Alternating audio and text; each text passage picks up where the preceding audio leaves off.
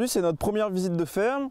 On est chez Brice Tandy, euh, donc euh, maraîcher ici depuis près de 10 ans au Champ-Juel à Moisé, donc c'est à côté de Rennes. Et donc on va rester trois jours euh, ici, on va regarder le sol, mettre les mains dedans, on va prendre des photos, prendre des photos des outils, des cultures, et puis bah, tout ça pour vous montrer le maximum. Mais euh, donc avant, bah, on va aller euh, voir Brice euh, pour lui poser quelques questions. Allez, suivez-nous.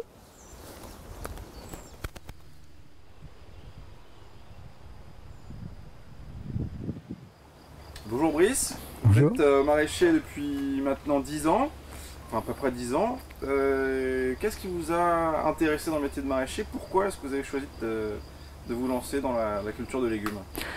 Alors, euh, ben, je sentais que c'était vraiment euh, un métier qui m'intéressait. Euh, j'étais déjà un peu mordu par le fait que j'avais fait, enfin, j'avais étudié un peu la biologie et les sciences de, la vie, comme on dit, et vraiment, ben, ça, me, ça me plaisait. Je savais bien que qu'un métier dans lequel on peut, euh, je sais pas, moi, appliquer son intelligence sur du concret, ça, ça m'irait bien, quoi. Donc, euh, ouais, je, le sentais bien. Est-ce que vous pouvez nous parler un peu de votre sol euh, ici, puis des particularités du terrain? Alors, donc on est dans le bassin de Rennes, c'est un bassin limoneux une terre euh, qui a tendance à être euh, jaune, on va dire. Euh, on fait des maisons en terre justement dans, le coin parce que c'est une terre qui a des bonnes propriétés de tassement, quoi. qui fait des murs bien solides quand on les tasse. à part ça, c'est une terre, les terres limoneuses sont bonnes, hein, mais juste qu'elles ont tendance à ne pas passer facilement l'hiver, à se, tasser facilement avec avec le passage de la pluie et du froid de l'hiver. Donc c'est un peu ça le problème. Et ça réagit d'autant mieux euh, aux, techniques de maraîchage sur sol vivant dans lequel on injecte beaucoup de carbone pour euh, faire monter le taux de matière organique, pour justement équilibrer la partie minérale euh, qu'on pourrait avoir tendance à, retrouver toute seule à force de trop travailler le sol. Donc euh, je suis vraiment bien content d'avoir amélioré visuellement et, qualitativement euh, par, les résultats la, qualité de mon sol euh, en mettant donc des, gros apports de carbone qui ont permis à l'activité biologique de se développer de manière hyper intense ce qui favorise euh, la production de, colloïdes qui, viennent euh, coller à la, fraction minérale et, donc vraiment un, résultat très, euh, très, très, très probant sur, ma terre et j'en suis très content. Donc visuellement on voit une grosse porosité, quand on marche dessus on sent qu'il y a de l'air là-dedans, il y a de l'air, il y a de l'eau, il y a de la chaleur qui peuvent passer facilement c'est vraiment euh, nettement euh, une terre facile et un, bon, support pour, euh, une activité de maraîchage.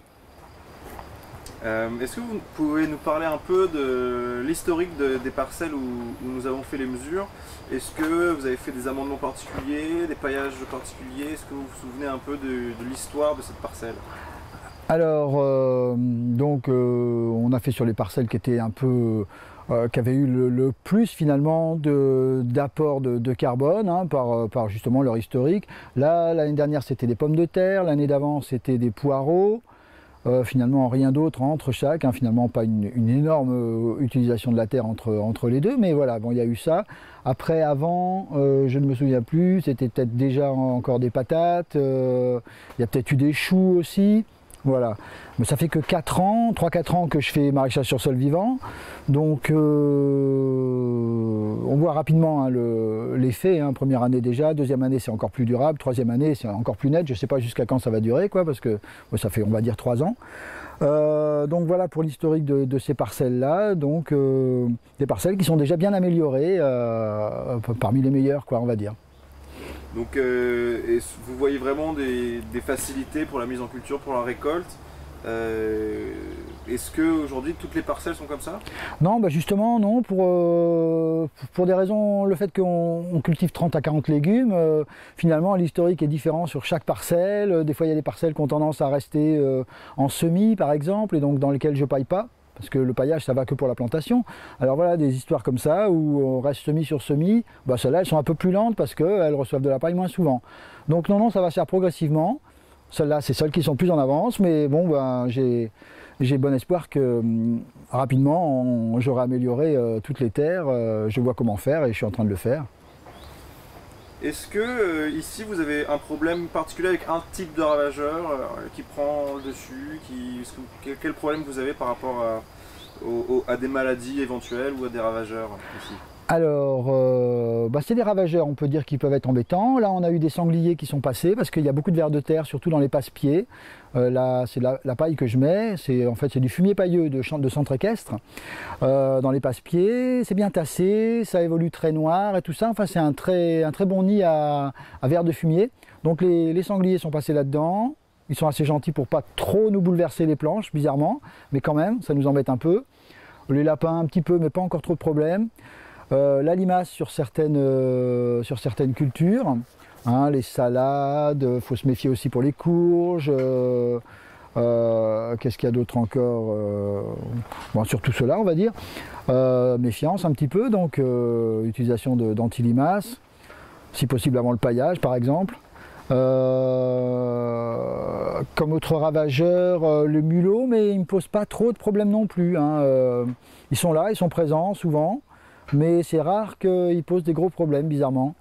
Euh, j'en ai dans le tunnel d'été avec les tomates et tout ça, mais ils font des problèmes que quand euh, je mets par exemple du persil. Le persil, ils aiment bien le manger, mais la tomate, non, ils l'embêtent pas. Euh, ça peut arriver pour des carottes ou pour des, betteraves où on est un peu embêté. Bon voilà, mais si vraiment j'ai trop de mulot, ça m'embête, bah, je, mets un peu de morora, je n'ai pas trouvé d'autre solution encore. j'ai un peu tout essayé, sauf, sauf celle à guillotine qui a l'air de bien marcher mais qui coûte cher. Voilà, euh, et sinon, maladie, non, pas, pas de maladie. Les pucerons, très rarement, euh, sauf par exemple si on fait du concombre avec aspersion, là c'est à peu près sûr qu'on a, qu'on a du puceron, mais c'est difficile de faire autrement, je pense. Euh, non, pas, pas, pas, de maladie, mais plutôt des ravageurs. La mouche du, poireau qui va sur l'oignon aussi, et l'ail, ça peut être un, problème chez moi, ouais. mais c'est tout, je trouve. Euh, quel est votre mode de commercialisation principal et quels avantages ou inconvénients voyez-vous euh Alors il a évolué ce mode de, commercialisation mais j'en suis très content. C'est euh, principalement une AMAP, 50 paniers, donc ramassage une fois par semaine. C'est ça l'avantage, c'est que j'ai un jour de ramassage et de commercialisation et tout le reste est en production. Donc ça c'est super par rapport à ce que je faisais avant où j'avais, euh, je sais pas, un marché, euh, un petit panier pour des étudiants qu'il fallait faire, qu'il fallait aller livrer, que je voyais même pas les, gens, euh, des épiceries qui venaient ou que j'allais livrer, des scarabées, et je sais pas je sais pas quoi d'autre, mais enfin voilà, c'était tous les jours un peu ramassé, un peu livré, c'est, pas, c'était pas chouette quoi. Donc là vraiment c'est, bien, la map ça me plaît bien en plus, euh, c'est une simplification énorme pour, euh, la livraison aussi. Enfin, euh, moi je donne tout un peu en vrac, les gens même pèsent eux-mêmes la plupart du temps. Enfin, c'est tout à fait possible, je mets les balances et soit on a le temps de peser, on pèse, soit les gens pèsent. Euh, voilà, on fait que discuter, quoi. Donc euh, c'est très agréable pour eux, pour moi aussi. Donc ça, ça me plaît très bien et j'aime beaucoup, j'aime beaucoup cette formule. Je me méfie un tout petit peu parce qu'on m'avait dit oh la map, les gens sont pas toujours sympas ou ils sont exigeants. Donc ça m'a un peu retardé à m'y mettre, mais finalement euh, il s'avère que non. si on réfléchit bien le truc, ça, ça, se passe très très bien et je regrette pas. Euh, et puis j'ai rajouté deux petites cantines d'école primaire qui sont juste à côté de chez moi, donc ça commence tranquillement et ça me va très bien. Euh, voilà, par l'intermédiaire d'un Manger Bio 35, qui est un organisme qui fédère un petit peu les offres des, producteurs pour euh, justement pouvoir s'adapter aux, commandes un peu, un peu grosses, quoi, de, plus ou moins grosses des collectivités. Et dans la semaine, alors comment est-ce que vous répartissez votre temps de travail entre récolte et puis commercialisation, administratif? Il n'y a pas vraiment, il n'y a que le jeudi qui est fixé. Et puis le lundi matin, tous les 15 jours, pour aller chercher du fumier au centre équestre. C'est les deux seules choses qui sont fixes et régulières. Sinon, le reste du temps, bah, c'est en fonction. Hein, euh. L'hiver, euh, c'est presque du mi-temps. J'ai pas grand-chose à faire. Les légumes sont récoltés. Il n'y a pas, a pas d'arrosage, il n'y a pas de récolte, il n'y a pas de mise en place tellement ou très peu. Euh, et puis sinon après, vraiment, c'est en fonction, toutes les choses régulières, des, des, semis, des plantations. Je reçois des plantations, des plantes tous les 15 jours à peu près aussi avec des pics euh, de temps en temps, les légumes d'été, euh, le céleri, euh, voilà. Après, la pépinière de choux, donc plantation de choux, non, de poireaux, je voulais dire, de choux aussi. Voilà, des choses qui arrivent régulièrement, mais imprévisibles. Hein. Donc, non, pas de. Il n'y a pas de calendrier de la semaine précis. D'accord. En ce qui concerne la mécanisation, quels outils utilisez-vous et dans quel but, donc pour quelle tâche? Donc j'ai un tracteur un 50 chevaux, 55 chevaux.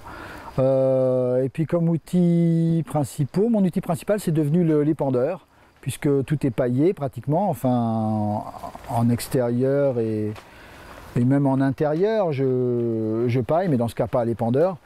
Euh, donc c'est l'outil principal. Euh, ensuite le rotage je le garde parce que euh, quand je veux incorporer de la paille, par exemple, euh, eh ben c'est bien utile pour broyer des, restes de culture. Euh, ça peut m'arriver aussi d'avoir à reprendre un terrain. Je m'interdis pas, c'est pas en zéro travail du sol, hein, pas du tout. Peut-être que ça le sera, mais pour l'instant ça ne l'est pas. le giro, comme tout le monde, mais c'est la tondeuse pour, pour les abords, ça, on va dire. comme autre outil mécanisé, Le cultibut, oui, oui, le cultibut que je continue d'utiliser, euh, qui est assez polyvalent. On peut mettre euh, un certain nombre dedans, entre 0 et 5.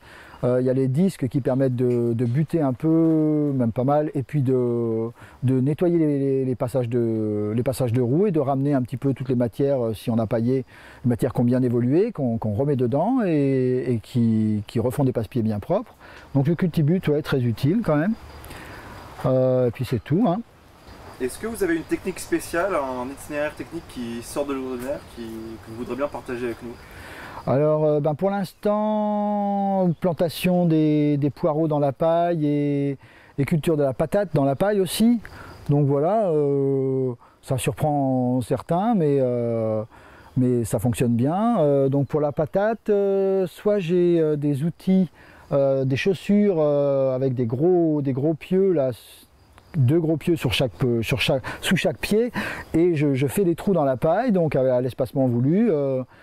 Euh, euh, et ensuite je mets dans, chaque trou euh, la, petite semence de patates. Et je fais pareil pour les poireaux, mais en beaucoup plus dense. Ça m'a permis de densifier beaucoup par rapport à la planteuse. mais je vais simplifier un peu l'itinéraire de la patate en finalement peut-être posant les patates sur le sol avant de, avant de pailler. Ça, doit être beaucoup plus euh, rentable au niveau temps. Quoi. Euh, les poireaux, on ne peut pas faire autrement que de faire les trous et, si on s'y prend bien, ça, se passe très bien. Euh, voilà. Et ouais, ce que j'avais oublié, un autre outil mécanisé qui est bien utile pour la patate, c'est un endaineur, ça s'appelle un rotofaneur. Moi j'ai pris ça. Ça pourrait être une pirouette ronde, mais c'est un outil qui peut retirer la paille et qui la met en andin sur le côté. Donc ça, ça permet justement d'enlever la paille et d'avoir accès aux pommes de terre qui, poussent juste sous la paille et sur la terre. Voilà, ça c'est un petit instrument mécanisé qui fait gagner beaucoup de temps, mais qui n'est pas non plus euh, parfait parce qu'il y a une partie qui part avec la paille des patates qui va dans l'andin. Donc euh, c'est pas non plus euh, la perfection, mais c'est beaucoup mieux que, que d'enlever la paille à la main. Si vous deviez recommencer votre installation aujourd'hui, qu'est-ce que vous changeriez et qu'est-ce que vous garderiez? En sachant ce que je sais, ben là je pense, je suis en train de penser à mécaniser mes ouvertures de tunnels pour euh, gérer la température. Ça, ça peut être un, gain euh, facile d'efficacité parce que Euh, sinon, moi, je fais une moyenne, hein, c'est-à-dire que j'ouvre assez tôt mes, tunnels. quand je peux ne pas les fermer la nuit, je les ferme pas, etc. Et par rapport à quelqu'un qui aurait des automatismes pour ça, on peut gagner, à mon avis, la moitié de l'efficacité de la journée en, chaleur euh, efficace, quoi. D'ailleurs, tourner autour de 20-25. euh, euh, c'est vraiment, je pense que ça peut être un bon saut qualitatif. euh, et c'est un peu cher sûrement, mais il faut que je me renseigne, mais j'ai envie de faire ça. Euh, non, j'avais acheté des tunnels d'occasion, ben, je le regrette pas, bien qu'en sachant que un tunnel neuf avec justement tous les ouvrants latéraux et des choses comme ça, c'est bien, bien efficace. Mais non, je, je pense que je pourrais dire que je ferais à peu près la même chose. Pour vous, quelle est votre meilleure réussite euh, en tant que maraîcher? Ben, c'est en parlant de légumes, quoi. Ben, il y a des légumes que je réussis bien. Euh, L'oignon, là, euh, normalement, je, je le réussissais bien. Euh, à part maintenant, j'ai la mouche un peu du, poireau qui est venu dedans, mais j'étais content d'avoir réussi ça, qui me semblait pas vraiment facile, surtout de semis. Euh, ma pépinière de poireaux est super propre, euh, grâce surtout, euh, je pense, au fait que je mets des dans les tunnels, euh, j'ai des tunnels très propres parce que je mets des, des passe-pieds en moquette, donc ça em- empêche l'enherbement. Et puis je fais tous mes semis euh, sans travailler le sol avec euh, du papier ensemencé euh, de la marque EasyTop. Donc je leur fournis mes graines et par exemple pour la pépinière de poireaux, ben, euh, les poireaux sont déjà implantés comme, euh, avec un semis de précision, un semoir de précision. Donc j'ai toujours bien réussi mes, mes- pépinières de poireaux que, que d'autres disaient c'est un travail fou, j'arrête pas, je vais arrêter ça. Donc moi non, j'ai toujours fait ça et j'ai toujours largement ce qu'il faut comme poireaux. Donc ça, je suis content. Les fraises, j'en suis content. Mais c'est pas plus difficile que ça, mais j'en suis, content. Les salades, ça marche facilement. Par contre, les carottes, j'ai vraiment du mal depuis longtemps. Euh, j'ai rarement réussi euh, des carottes, alors que ça devrait être quand même un, légume de base. Voilà. Euh, non, mais voilà. Il n'y a rien de, jamais sûr, mais globalement, on peut être pratiquement sûr d'arriver à tout à un moment ou à un autre. Est-ce que vous avez d'autres projets comme ça à venir et est-ce qu'il y a des choses que, encore des choses que vous voudriez améliorer dans votre système? Alors, comme autre amélioration, comme ça, non, je ne vois pas vraiment. Euh, là, ce qu'on va faire, mais c'est pas une amélioration vraiment, mais disons que pour le, ça va être agréable, c'est que on va s'installer. Enfin, il y a, deux personnes qui vont venir s'installer sur, le, sur les surfaces que j'utilisais pas de ma ferme, parce que j'avais 4 ou 5 hectares, et finalement, avec un hectare, euh, 8000 m2 de plein champ et 2000 m2 de tunnel, euh, ça fait mon affaire, quoi. Donc, euh, il y a un stagiaire qui va s'installer, euh, qui va commencer par s'installer sur un hectare, euh, et puis mon fils et, son ami qui vont aussi s'installer. Donc là, c'est le gros changement, les gros projets pour le pour l'avenir, et voilà, ça va apporter des euh, une émulation, des échanges d'idées qui sont pas très quantifiables, mais je pense que c'est évident que ça va, ça peut être très agréable et très très, ça peut, peut apporter beaucoup de choses. Donc euh, je crois comprendre que vous êtes assez satisfait des techniques euh, maraîchage sol vivant. Est-ce que vous êtes aussi satisfait euh, eh bien, de votre revenu et puis aussi de votre charge de travail? La charge de travail, il n'y a pas de problème, ouais, parce que bon, des fois il y a des, journées longues, mais on, voilà, j'ai jamais de galère.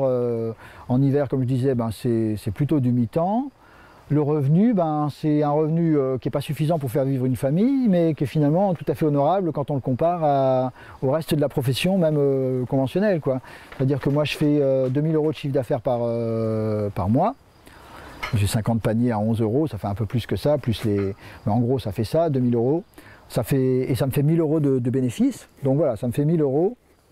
Mais bon, c'est la moyenne euh, des agriculteurs euh, de Bretagne au moins. Je ne sais pas si c'est pour la France, mais de Bretagne. Et sachant qu'il y, y a un tiers des agriculteurs qui gagnent moins de 350 euros des, à, titre, euh, enfin des agriculteurs à titre principal, quoi, pas des, pas des gens qui ont, pas des plus réactifs.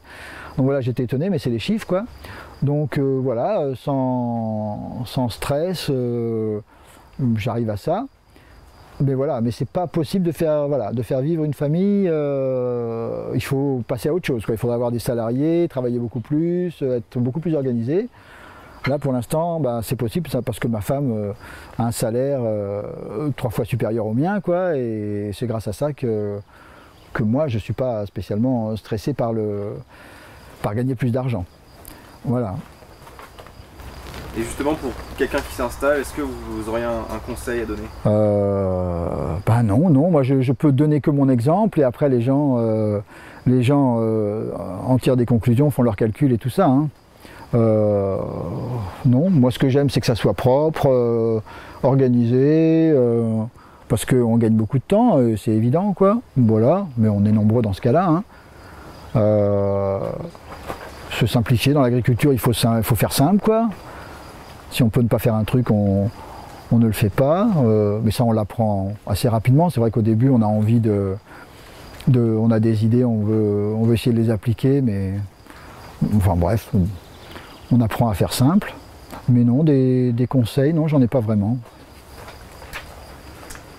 Est-ce que vous avez ressenti une différence euh, au niveau euh, de la biodiversité, du sol est-ce que vous avez vu plus de vers de terre? Est-ce que vous avez vu euh, plus d'insectes, etc. Euh, et puis aussi une, nette différence par rapport à avant au niveau du sol, euh, depuis que vous êtes passé aux méthodes sans travail du sol, parce que j'ai cru comprendre que vous aviez, vous étiez, vous travailliez votre sol avant.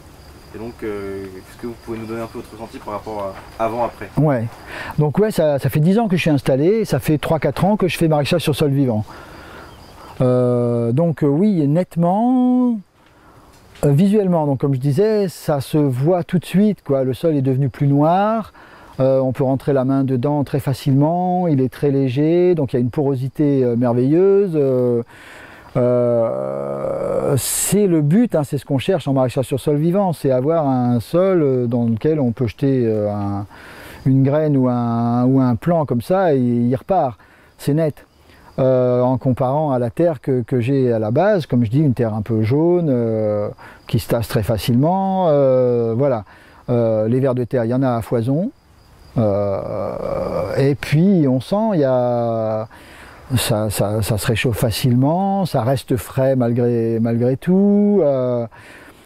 c'est très net de, ce point de vue-là. Pour, pour la, la, flore, la faune et tout ça, bon ben, ça n'a pas énormément changé, mais je pense que ça s'est plutôt globalement amélioré quand même. Dans les tunnels, on trouve, ben, j'ai des côtés avec justement, ben, on voit là de la sauge fleurie. Euh, c'est, il y, a, toujours des, insectes à, venir butiner. Euh, je trouve des crapauds, mais ça depuis longtemps. Euh, des couleuvres aussi qui viennent là. des musaraignes, des araignées. Voilà, j'ai pas cherché, mais finalement, quand on y réfléchit, ben, il y, a, une bonne diversité dans, ces tunnels. Hein. Euh, à l'extérieur, c'est moins sensible, hein, bizarrement. Euh, je ne peux pas dire ce qu'il y a, à part des mulots. Euh, donc non, ben, l'amélioration de la terre, oui, ça c'est évident. Mais, voilà, visuellement, il suffirait de, vous le montrer et vous, comprendriez tout de suite.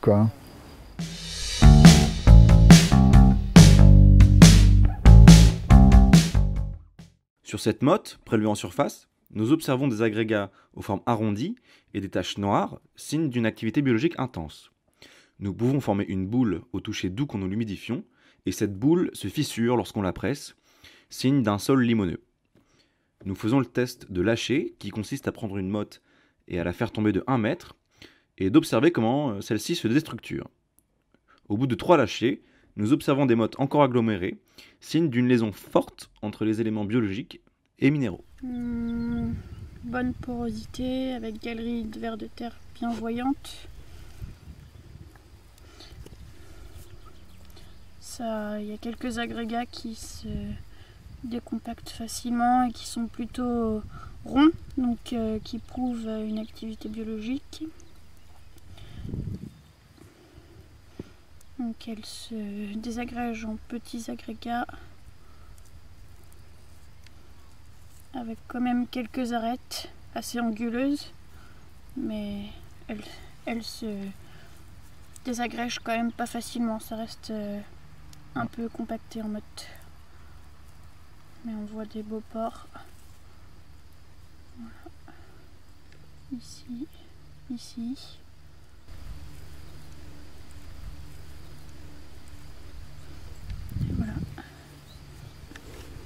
nous décidons de faire un select test, c'est-à-dire d'immerger une motte dans l'eau et de voir comment celle-ci réagit. Ici, nous avons voulu comparer le sol travaillé d'un voisin à gauche et le sol de Bristandi à droite. Nous pouvons observer très distinctement que dans le bac de gauche, l'eau est plus trouble signe d'une dispersion de la structure du sol au contact de l'eau. À droite, la motte se tient mieux. Elle ne se désintègre pas tout de suite. La matière organique agglomère les agrégats entre eux, ce qui les rend résistants à l'eau, signe d'une activité biologique plus intense. Notre séjour s'achève ici chez Brice Tandil après trois jours bien remplis. On a étudié le sol cultivé et le sol de prairie.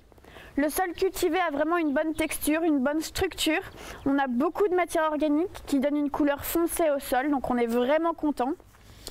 Et puis bah, quand on sent le sol, il a vraiment une, odeur de sous-bois et, de forêt, donc ça c'est c'est aussi encourageant. Euh, et puis on a hâte de voir les résultats là, parce qu'on vient d'envoyer des échantillons au labo. Et voilà, donc euh, bah, la semaine prochaine, on va aller chez Damien Fillier et Isabelle Perry, près du Mans, euh, pour de nouvelles aventures. Chez Maraîchage, sol vivant.